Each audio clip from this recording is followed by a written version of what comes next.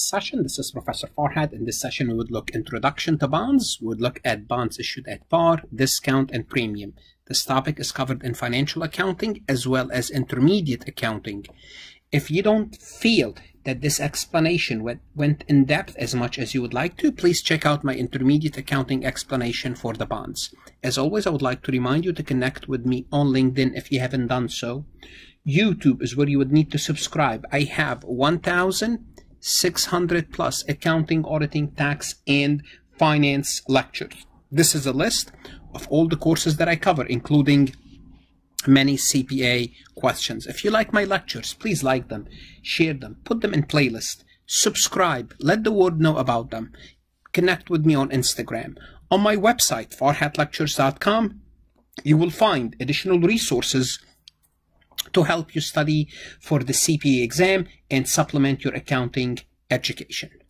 So what is a bond and what would the bond looks like? So this is a bond. A bond is technically a piece of paper.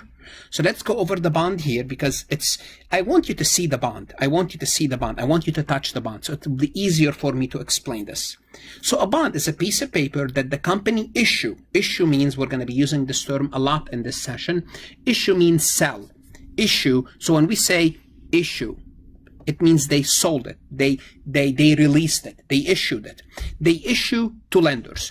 So you, um, McDonald issued this, co McDonald's Corporation, this is the issuer company, issued the bond to lenders. Who are the lenders? Lenders are people who, who are willing to, who are willing to lend money. So what pictures are we looking at here?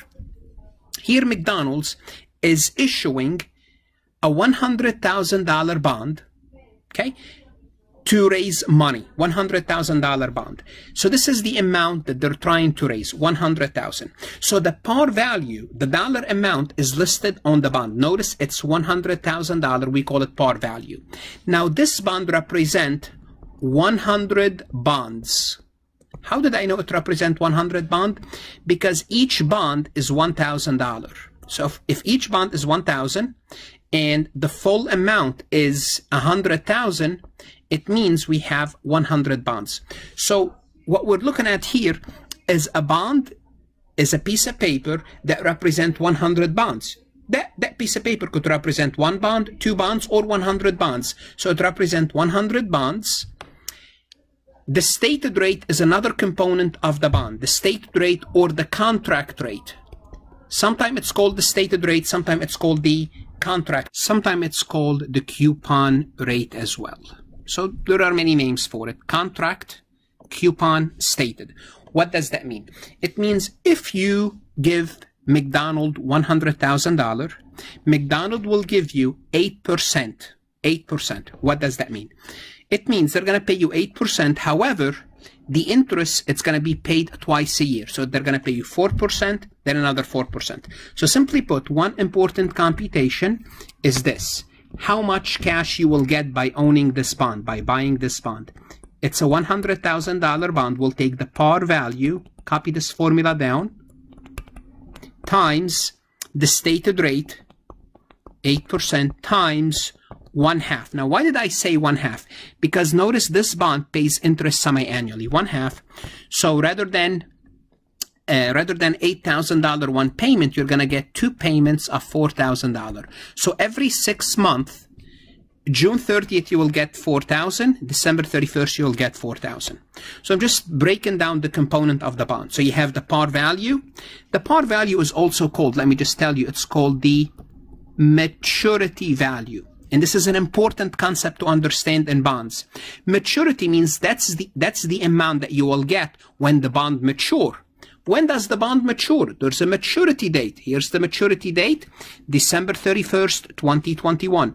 It means on December 31st, 2021, you can take this piece of paper back to McDonald if you have it, if it's in your name, and ask them for your $100,000. They will only pay you $100,000 because what's printed on this bond? $100,000. What's printed is the par value, is the par value of the bond. You can only get back $100,000. And this is an important concept, and you will see why I'm emphasizing this point, because when you buy the, this bond, you, you will see shortly that you could pay more than 100,000 or less than 100,000. But you will get only $100,000 when you present that bond at maturity. So those are the basic pieces of a bond. So it's very important to understand them. Let's put them here on a, in another way to look at them. So bond is a form of financing. If McDonald wants to raise money, they can issue bond. They can sell bonds and get money in return. So the corporation, MCD, is the corporation. They will issue bonds to lenders and the lenders will give them back the $100,000. We're going to assume they're going to give them back exactly $100,000. Then McDonald will have to pay the lenders $4,000 every six months. $4,000 every six months. Okay, so to compute the interest payment, we'll take the bond par value, which we talked about this, which is $100,000 times the contract rate or the stated rate. Remember the contract rate, the stated rate, the coupon rate, which happens to be 8%, what McDonald is offering, times the time. Since they pay interest semi-annually, we're going to multiply this by half. So every six months, McDonald will pay the holder of this $100,000 bond $4,000. $4,000. So those are the basic components of a bond. And we're going to look at them again one more time in a moment. Bond are traded. Now, once the company issue a bond, once the company issue a bond, the bond is traded just like stocks. It's you can you can sell it, uh, you can buy bonds, so on and so forth. So let's see how bond are priced because that's an important thing for us. This is a bond for IBM. IBM is the bond. The rate is 4%. What is the rate? This is the stated rate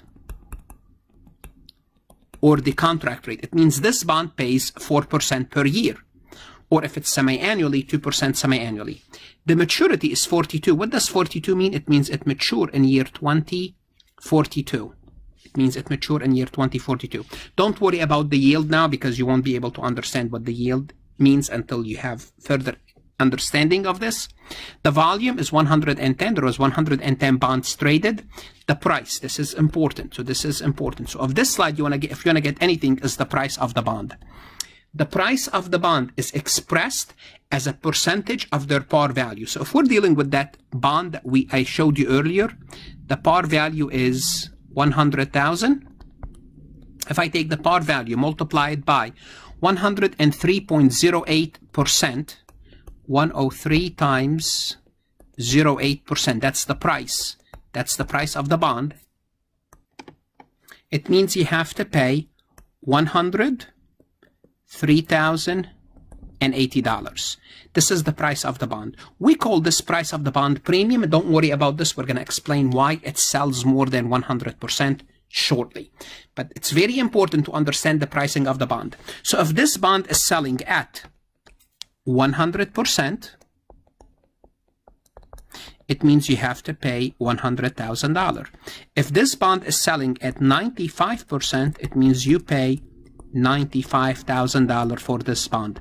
So the price of the bond could be a premium above 100, exactly 100 or below 100. If it's above 100, we call it a premium. If it's exactly 100, we call it par. If it's below 100, we call it a discount. Hold on that. We're going to discuss why bond trade at those prices. So bond are securities, just basically like stocks, that can be purchased or sold in the securities market, basically Wall Street. They have a market to which is expressed as a percentage, as a percentage times the par. The closing price indicate that the IBM stock or the IBM bond, not stock, is being sold at 103.08% of face value, which is I told you the amount if you want to buy it. Now don't worry about why it sells at a premium, we'll talk about this. Now what we need to worry about is how to issue a bond when a company issue a bond, and we're going to be dealing with this bond. So let's look at the component of the bond. What, what are the components? On December 31st, 2019, McDonald issued the following bond. So we're dealing with this bond here. Par value of 100,000. It means if you buy this bond, we're going to give you back 100,000 when it matures. The contract rate or the stated rate is 8%. This is, this is how much McDonald is willing to pay you. And we're going to pay you that semi-annually. It means June 30th and December 31st. So every every six months we'll pay you 4% in a total of 8%.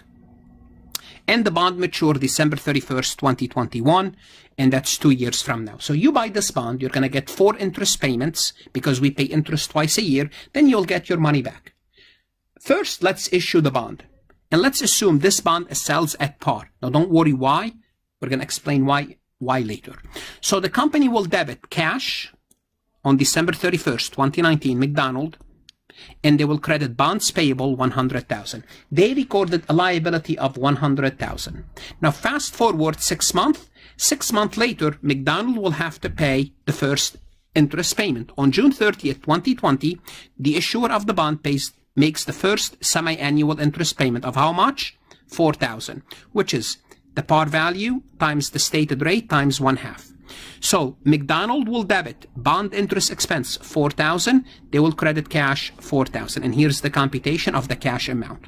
So this entry is made for six months until the bond matures, until the bond matures. Okay. Now, when the bond mature, it matures two years later. On December 31st, 2021, the bond matures and the issuer of the bond pays the face value. You only pay, look, listen to me carefully, listen to me carefully. When the bond mature, when the company, when the, when the bond mature, they only have to pay the face value if they wait until maturity. And what's the face value? What was written on that bond? 100,000. Therefore, we debit the bonds payable to, to get it out of the books and we pay the, the lender 100,000. So simply put, this bond is now paid. We paid it. How much do we pay? We pay 100,000. We pay 100,000. Now let's talk about when a bond is sell sells at a discount or premium. The bond that we looked at was selling at par. It means it means McDonald wanted 100,000 and they got exactly 100,000. It's at par. Now, let's explain the concept of a premium or a discount. Now, remember McDonald had a contract rate or a stated rate and McDonald says I'm willing to pay 8%. If you don't, if you don't believe me, look, McDonald says this is my stated rate. Notice it's printed on the bond. It's printed. That 8% is printed. It does not change. Once they say they're going to pay 8%, they're going to pay 8% until the bond mature. So let's assume, let's not, let's not assume, let's assume and we're working with this bond, 8%. Now we're going to look at another rate. Now this is important for you to understand. So we have bond sets. So McDonald sets the rate at 8%. Then there is the market. What is the market? The market is all the other bonds that are similar to McDonald's.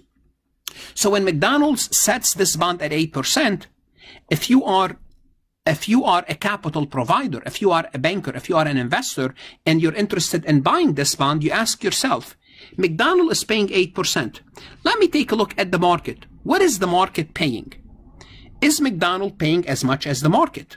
If the answer is yes, so let's assume that's the case. Let's assume the market rate, everybody that's similar to McDonald is paying 8%, and McDonald is paying 8%. So McDonald is paying 8%, and McDonald is paying exactly what everyone is paying. So they're paying 8%, so the contract rate is 8%, and everyone else is paying 8%. Well, if that's the case, if I'm an investor, whether I give my money to McDonald or I give my money to somebody else in the market, if they're all paying 8%, I'm willing to only pay 100,000. So when your contract rate, when McDonald is offering 8%, and everybody else similar to McDonald, we call it the market, is offering 8%, the bond sells at par. And this is what we looked at when we did the transaction a minute ago. We assume that the bond sells for 100,000. Let's give me, let me give you another scenario. Now let's assume the contract rates, we can, we can change this 8%. And let's assume the market rate, the market rate is 10%. And you have money to invest. So let, we, we're done with the par value. Let's take a look at the second scenario. So McDonald MCD is offering 8%. That's all what they can afford to pay 4% every six months. But similar companies to MCD like Burger King, um, like Wendy's, they're, they're paying 10%. Well, guess what's going to happen? No investor in the right mind, they will pay McDonald $100,000. Why?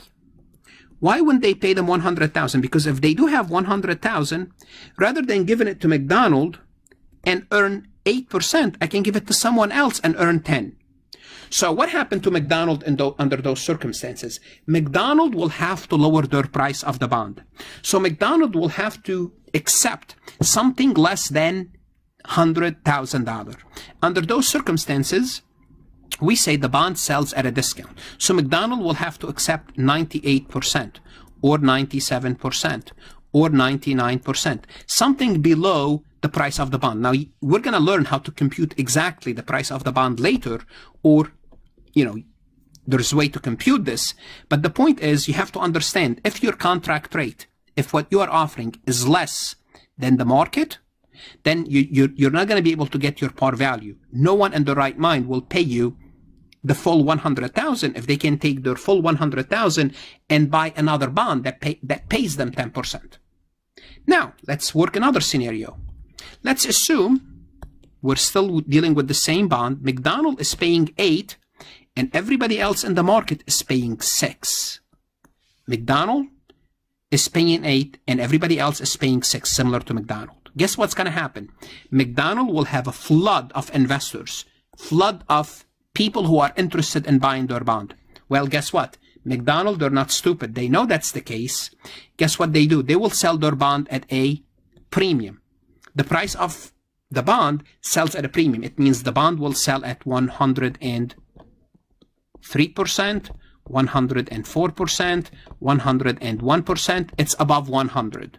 Okay? Why? Because McDonald is offering something that's very attractive. And what's why is it attractive? Because it's higher than the market.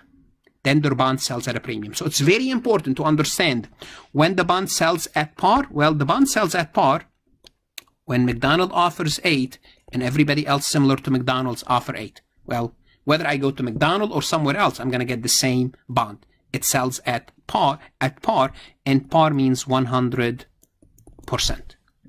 Now let's take a look at an example of how do we deal with a bond issued at a discount.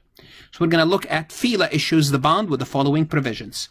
Par value of 100,000, issue price 96.4. Now all what you have to know now is this is a discount bond. This is all what you have to know. Now how do we come up with this figure? That's a different story. The stated rate is 8. Now you know that the that if they're offering 8, the market must be offering more. The market is 10. Well, the bond will sell at a, the bond now, the bond will sell at a discount. Why? Because the market is offering more than FILA or more than McDonald. They pay interest on June 30th and December 31st.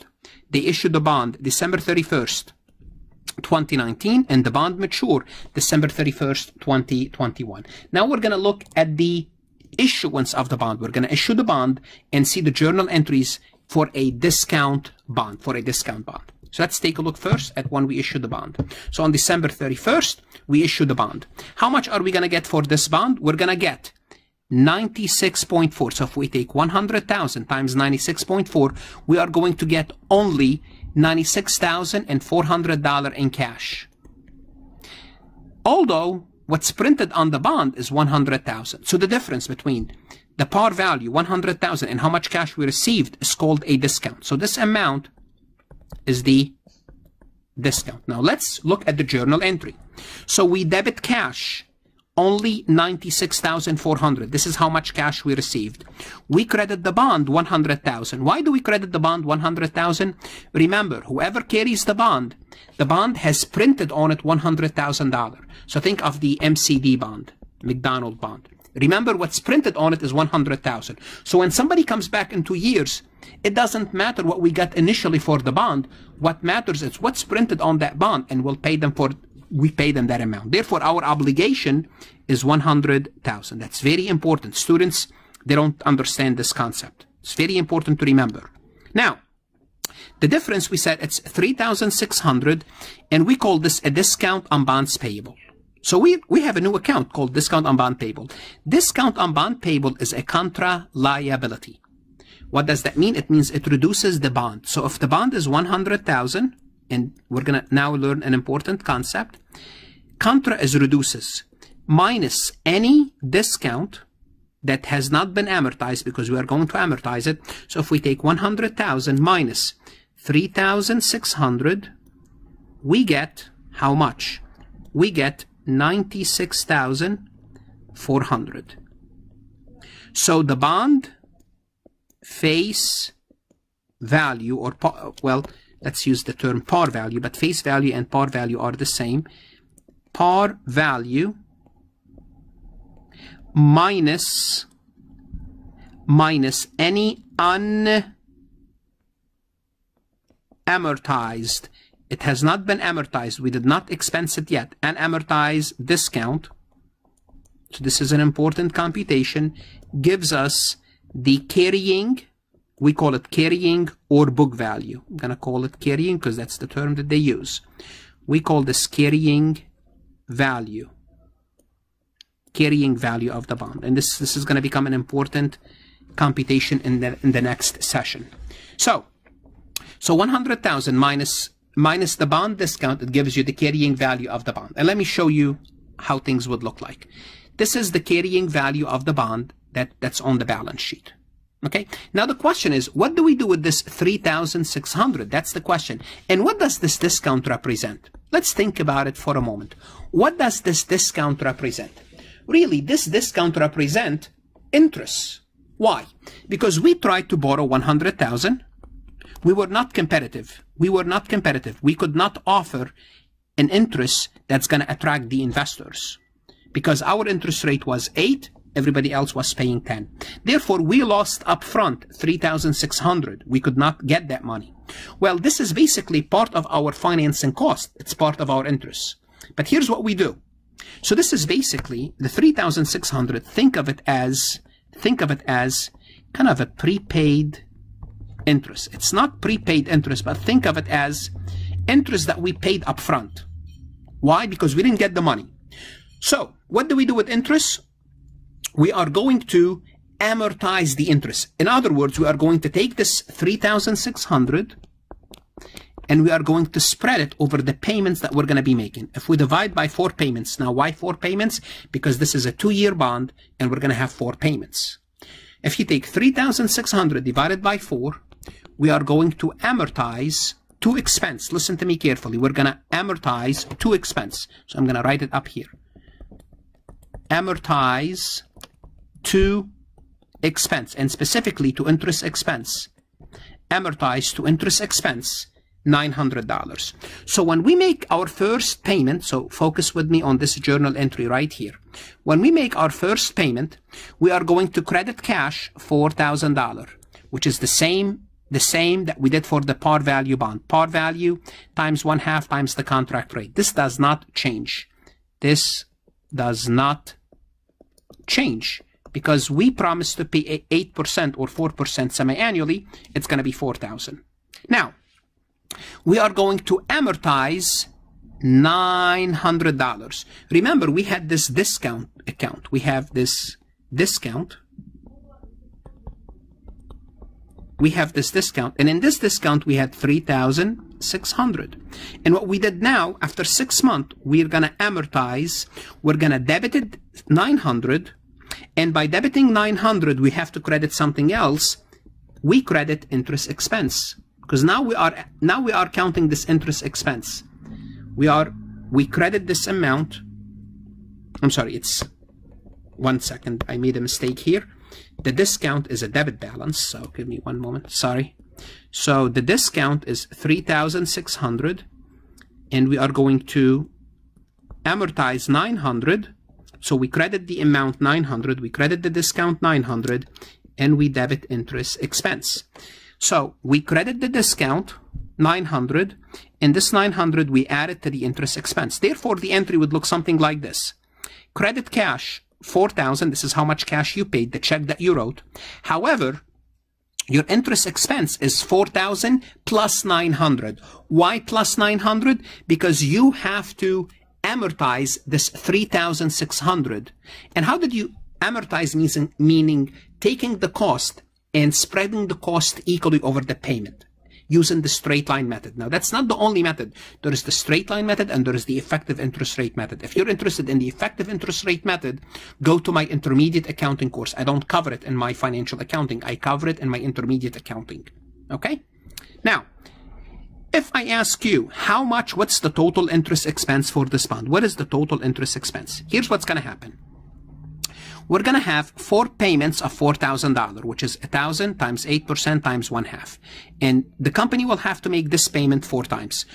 So 4,000 times 4 is, six, is 16,000 plus Plus, upfront we lost 3,600 because of the discount. So the total interest expense is 19,600. Now, if we take 19,600 divided by 4 payment, our interest expense is 4,900, which is the same thing as I told you earlier. It's the cash payment plus the bond that you amortized, plus the bond that you amortized. So it's very important to know this. Now, when we have a discount bond, the discount bond is below the par value. So the carrying value started at 96,400. Notice here, when we started this bond, the carrying value was 90, 96,400. And the unamortized amount was 3,600 because this is how much unamortized amount we have. So let me show you in a T account how it looks like. So we have the discount here. And in the discount we had 3,600 initially. Then after one payment, we reduced the discount by 900. We reduced the discount by 900. Now, the carrying value goes up because now what we have is we have a $100,000 face value minus 2,700 which will give us 97,300. So the bond value goes up. Another six months later, we will reduce the discount again. As we reduce the discount, as we reduce the discount, the carrying value goes up again by 900. Then we reduce the discount again by 900 when we make the third payment. And the fourth payment, as we make the payment, the bond value goes up. It keeps going up until it reaches the maturity value. So always the bond goes back to its maturity value. So if it's below the below the maturity value, if we wait and we amortize all the discount as we did here, eventually the discount will go down to zero the discount will go down to zero, notice? And the bond becomes at par value. The par value is 100,000. So this is the life of a, of, of a discounted bond. Let's take a look at a premium bond. Assuming we're looking at an Adidas issued a bond for 100,000, the issue price is 103,600. You are giving the price. You don't have to compute the price. What does that mean? It means the stated rate was 12% for this example. So what does that mean? It means the market rate has to be lower. The market rate is 10 because the stated rate is higher than the, the higher than the market rate. The bond is issued at a premium, which is 103.6. This bond pays interest semi-annually. Bond issue date December 31st. The maturity date is in two years, December 31st, 2021. Now we're going to do the same thing with a premium bond. With a premium bond, we're going to issue the bond at 100 times 103.06 and the cash amount is 103,600. So actually we received more than 100,000. Why? Because everybody wanted to buy our bond. As a result, we got more than what we thought we will get. We got more than 100,000. Now we pay the price for that. What's the price that we paid? Well, we are offering higher interest rate. It means we have to make more cash payment. So simply put, the difference between the par value and the cash proceeds, it's called the premium. The premium is 3,600. Okay, but now it's a premium. Now let's look at the journal entry. Cash we received, 103,600. We always credit the bond for the par value. This bond par value is 100,000. The difference between the two, now it's called a premium. What type of account is the premium? The premium is an adjunct liability. So what are we going to do with this adjunct liability? We're going to amortize. We're going to spread. We're going to amortize. Look, against interest expense. We're going to amortize against interest expense. Against interest expense. Not to interest expense. It's going to reduce our interest expense. Why is it going to reduce our interest expense? In contrast to the discount. The discount, we amortized it to interest expense. So every time we amortize it, we increase our interest expense. Now the premium, every time we amortize this 3,600, every time we amortize a part of it, it's going to reduce our interest expense. And when do we amortize it? Over the life of the bond, over the life of the payment. The same concept now with the bond carrying value, the bond plus, notice plus any premium gives you the carrying value. So this is the carrying value of the bond. The carrying value of the bond is the bond which is the par value plus the premium. If it was if it was a discount minus the discount plus the premium. So this is the bond carrying value. So when we issue the bond, we debited cash 103,600. Again, we credit the bond payable exactly for the for the for the uh, par value and the difference is a premium. Now let's make our first interest payment. Well, our first interest payment, let's focus with me right here. First interest payment, this blocks here. The first interest payment, first is the cash. It's 100,000 par value times 12% times one half. And that's going to give us $6,000. So we have to write a check for $6,000. We credit cash $6,000. Now what we do, we have to amortize some of the premium. We have 3,600 divided by 4. So every time we are going to, every time we make an interest payment, we're going to use 900 of the premium. Therefore, we're going to debit 900 of the premium. Remember, the premium is a credit account. Remember, the premium is an adjunct liability. Adjunct means it, it's a, it's like a liability, but it serves another liability. The premium is 3,600. Now what I'm going to do, I'm going to debit this premium 900 when I make my first interest payment. And as I debit the premium, I credit my interest expense. So I debit the premium and I credit, I reduce my interest expense. So I debit the premium, I debit the premium and I credit interest expense. So notice I debit the premium and rather than debiting 6,000 of interest expense, I only debit 5,100. Why 5,100? I paid 6,000 minus the premium that I received so my interest expense is 5,100. Notice the interest expense is lower than the cash. Why? Because I got the money up front. And this entry would repeat itself four times. So every time I make a payment, and as it, as it repeats itself four times, I, I will bring down the premium down to zero. So I'll get rid of the premium once the bond mature. Now, if I ask you, what is the total interest expense on this bond? Well, we pay $6,000 every four month, every six month. We make four payment. That's 24,000.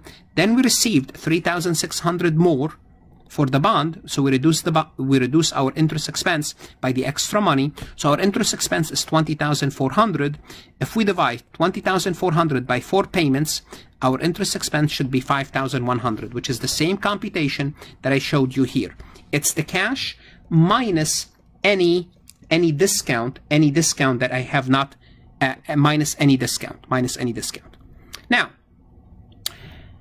um, and this is the computation for the cash payment for this, how we come up with the 6,000. I already did this for you. Okay, now the last thing is just like with the bond discount, we have a premium bond amortization. The carrying value when we issued the bond on 12-31-2019 was 103,600 and the bond unamortized premium was 3,600. So if we take 100,000 plus 3,600, that's what gave us 103,600. But six months later, we reduce the premium. As we reduce the premium now, the carrying value goes down. Because this goes down, the carrying value goes down. Then we reduce the premium again by 900, the carrying value goes down. We reduce the premium, the carrying value goes down. And once the premium go, once the premium goes down to zero, the bond goes back to its to its par value, just like with the discount bond. So always the bond, if once it's properly amortized, whether it's a premium or a discount, if we wait till the end of its life, the bond goes back to its par value. Notice the bond went back to its par value. So it was above par value and it went down to par value by amortizing the premium for the discount bond, let's go back to the discount bond.